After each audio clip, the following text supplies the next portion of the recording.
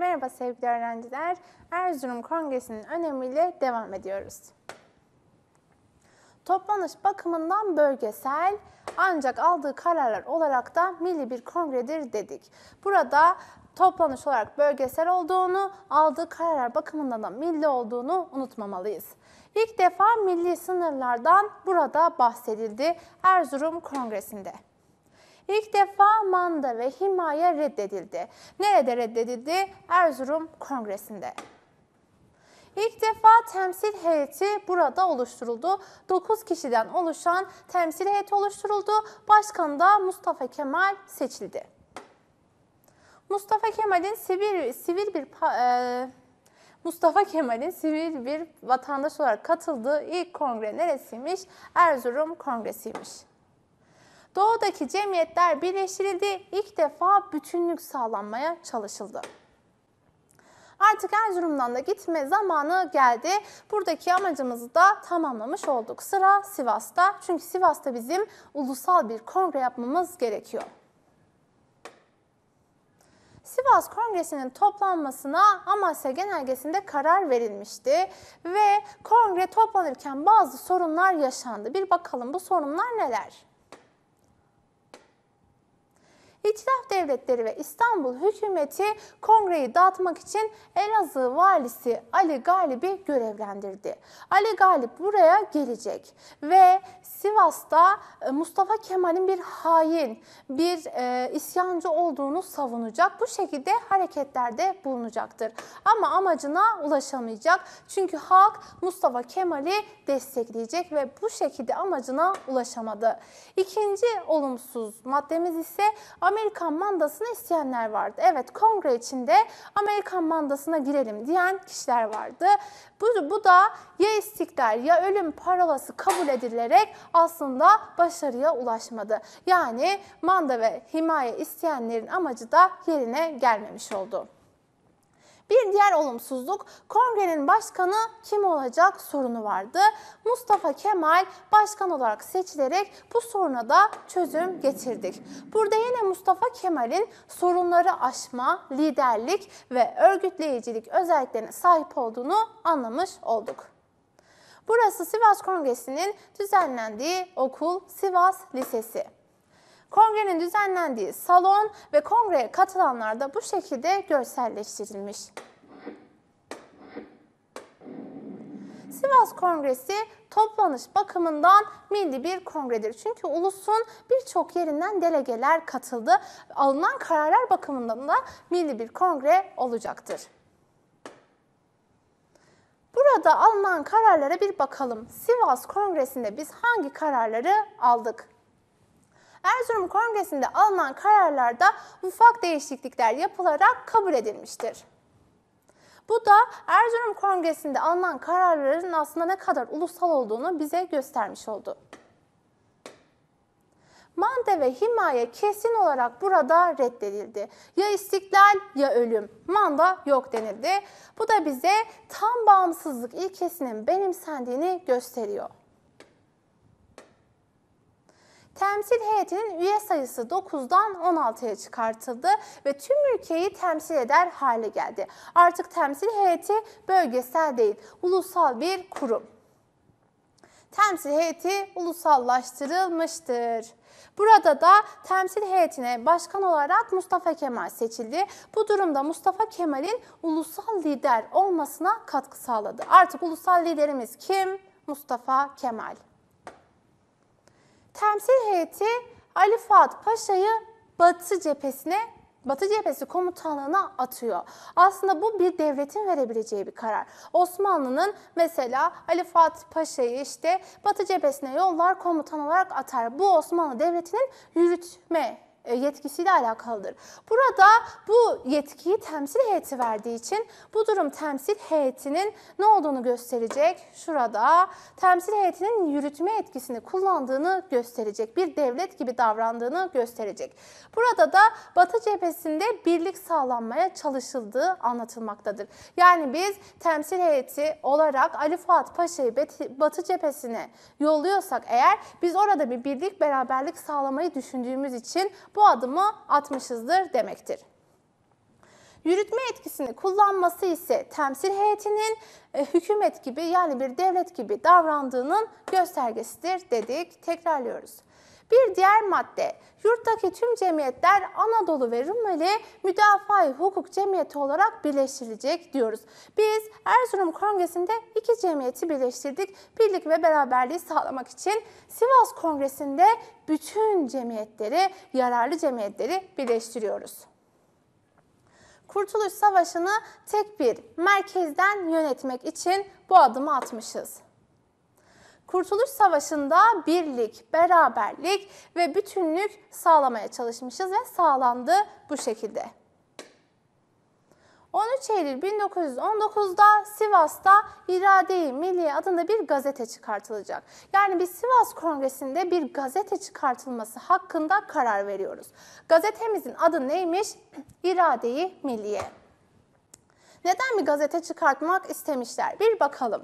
Halkın bilinçlendirilmesi ve doğru bilgiyi alması burada amaçlandı. Temsil heyetinin aldığı kararları halka ulaştırmak için, duyurulmasını sağlamak için biz bu gazeteyi açıyoruz. Şimdi Sivas Kongresi'nin önemine gelelim. Hem toplanış hem aldığı kararlar bakımından milli, ulusal bir kongredir. Manda ve himaye fikri bir daha gündeme gelmemek üzere kapatılmıştır. İlk defa Erzurum Kongresi'nde biz manda ve himayeyi kabul etmediğimizi söyledik. Burada ise kesin bir şekilde reddediyoruz manda ve himayeyi. Tüm cemiyetler birleştirilerek yurdun tamamını düşmandan kurtarmak amaçlanmıştır temsil heyetinin kapsamı genişletilmiştir. Erzurum Kongresi'nde açtık 9 kişiydi. Doğu illerini temsil ederdi. Şimdi ise 16 kişiye çıktı ve bütün ulusu e, ilgilendiren bir hale, ulusal bir hale geldi. Mustafa Kemal ulusal bir lider oldu. Nerede? Sivas Kongresi'nde. Gazete kurularak halk doğru bir şekilde e, bilgilendirilmek istenmiştir. İrade-i Milliye gazetesini unutmuyoruz. Şimdi İstanbul hükümeti ile ilişkinin kesilmesi. Biz artık temsil heyeti diye bir kuruma gittik. Kurumsallaştık artık ve milli mücadele istiyoruz. Bu noktada bize engel olan herkese iletişimi kesmek istiyoruz. Bu noktada temsil, temsil heyeti İstanbul ile her türlü iletişimi kopardı. Bu durumun bir sonucu olacak. Halk da bu karara uyunca İstanbul hükümetinin başındaki damat Ferit Paşa hükümeti istifa etti. Bu baskıya dayanamamak için, dayanamadığı için. Bu durum temsil heyetinin ilk siyasi başarısıdır. Temsil heyetinin ilk siyasi başarısı ne? Damat Ferit Paşa hükümetinin istifa etmesi. Tekrar Amasya'ya bir gidiyoruz. Bakalım ne yapacağız orada? Burada e, damat Ferit Paşa hükümeti istifa edince milli mücadeleye daha ılımlı bakan Ali Rıza Paşa hükümeti kuruldu. Ali Rıza Paşa hükümeti temsil heyetiyle görüşmek istedi. Ve biz bu noktada ne yapıyoruz? Amasya görüşmelerini gerçekleştiriyoruz. Yani İstanbul hükümeti ile temsil heyeti görüşecekler. Bakalım neler olacak? Evet. Ee, İstanbul hükümetin bize e, Bahriye Nazırı Salih Paşa'yı yolluyor İstanbul hükümeti adına. Bizden de temsil heyeti adına Mustafa Kemal görüşmelere gidiyor. Bu durum İstanbul hükümeti ile temsil heyeti e, temsil heyetinin resmi bir görüşme yapması yani temsil heyetinin varlığının resmen kabul edildiğini gösteriyor. Yani İstanbul hükümeti temsil heyetini resmen kabul ediyor ve onunla görüşüyor. Bu durumda bize bunu gösteriyor. Burada konuşulan bazı maddeler var. Tabi bunların kabul edilenleri var, kabul edilenmeyenleri var. Bir bakalım. İstanbul hükümeti Erzurum ve Sivas kongrelerinde alınan kararları kabul edecek diyoruz. İstanbul hükümeti itilaf devletleriyle yapacağı barış görüşmelerinde temsil heyetinin de görüşünü soracak diyoruz. Serbestçe seçimler yapılarak Mebusan Meclisi açılacak diyoruz. Ve Ali Rıza Paşa'nın kabul ettiği tek madde bu madde oluyor. Mebusan Meclisi'ne tekrar açılması oluyor. Diğer konuşulan maddeler hiçbiri kabul edilemeyecek. Aslında Ali Rıza Paşa ben bunları işte Osmanlı'ya sunacağım. Eğer kabul edilmezse istifa edeceğim demiştir. Ama istifa da etmemiştir, kabul de ettirmemiştir. Bir tek Mebusan Meclisi'nin açılması gerçekleşecektir. Bir diğer maddemiz Milli, Milli Meclis Anadolu'da İstanbul hükümetinin uygun göreceği güvenilir bir yerde toplanacak. İstanbul'da toplanmasını istemiyor temsil heyeti. Bunun nedeni İstanbul'da İngiliz donanmaları var. En ufak bir etraf devletleri hakkında e, yanlış hani onlara göre yanlış gelecek bir karar aldığımız zaman e, meclis basılabilir ve oradaki delegeler tutuklanabilir. Bu yüzden Anadolu'nun güvenli bir yerinde meclisin toplanmasını istiyorlar. Evet, Amasya görüşmelerine devam ediyoruz. Buradan Mebusan Meclisi'ni görüyorsunuz. İngiliz donanmalarını görüyorsunuz. Aslında meclisin burada toplanması çok büyük bir tehlike. Ve milletvekillerinin rahat karar almayacağının da göstergesi. İtilaf devletlerinin aleyhine bir karar alındığında milletvekilleri tutuklanabilirdi. Kanun ve esasiye göre de Mebusan Meclisi bir tek İstanbul'da toplanır dediler. Bu yüzden meclisi İstanbul'da toplayacaklar. Evet, İstanbul hükümeti neden bu kararları kabul etmedi peki? Çünkü merkezi otoritesini korumak istiyordu. Aynı şekilde Anadolu hareketinin daha da güçleneceğinden endişe duyuyordu İstanbul hükümeti. Şimdi temsil kurulunun heyetinin Ankara'ya gelişine bakalım. Biz ne dedik? Ee, bir tek Amasya görüşmelerinde kabul edilen maddemiz neydi? Mebusan Meclisi'nin açılması. Mebusan Meclisi İstanbul'da açılacak. E bizler de bunu daha iyi gözlemlemek için ne yapacağız? Ankara'ya gideceğiz. Temsil kurulunun Ankara'ya gelişi. Burada Mustafa Kemal seçimlere Erzurum milletvekili olarak katılmıştı delegesi olarak.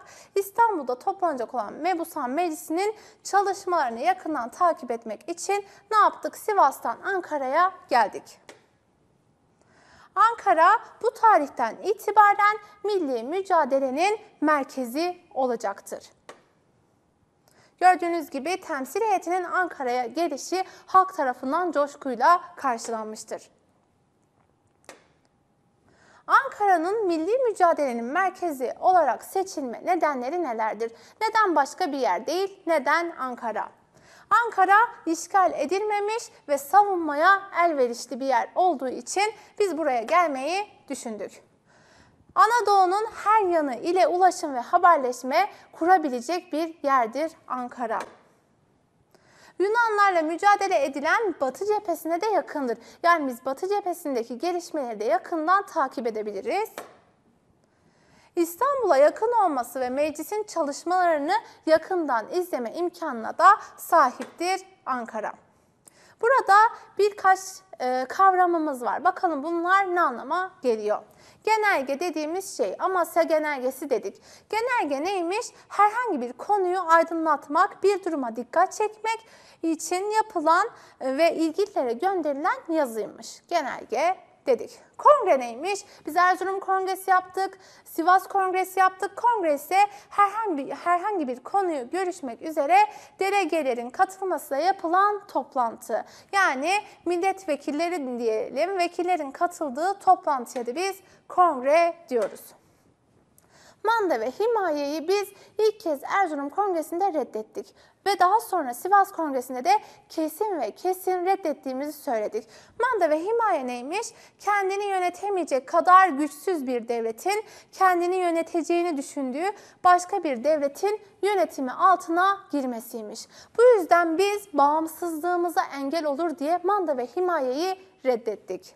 Bir diğer kavramımız milli egemenlik. Devleti yönetme etkisinin halka dayandırılmasıdır. Şu an Türkiye Cumhuriyeti'nde de olduğu gibi. Evet, birazcık etkinlik yapalım. Ne kadar anladık, ne kadar anlamadık diye. Sivas Kongresi'nden sonra nokta nokta gazetesi çıkartılarak milli mücadele halka duyurulmak istenmiştir. Gazetemizin adı İradeyi Milliye Gazetesi. Mande ve himaye fikrine ilk kez biz nerede karşı çıktık? İlk kez Erzurum Kongresi'nde karşı çıktık. Temsil heyetinin yetkileri nokta nokta kongresinde tüm yurdu kapsayacak şekilde genişletildi. Neresiymiş? Sivas Kongresi'ymiş. Mustafa Kemal protesto mitingi ve telgraflarla milli bilinci uyandırmak amacıyla hangi genelgeyi yapmıştı? Tabii ki de Havza Genelgesi. Milli egemenlik fikrinden ilk kez hangi genelgede bahsettik? Amasya Genelgesi'nde bahsettik. Bugünlük dersimiz bu kadar. Bir sonraki bölümde görüşmek üzere. Kendinize iyi bakın. İyi günler.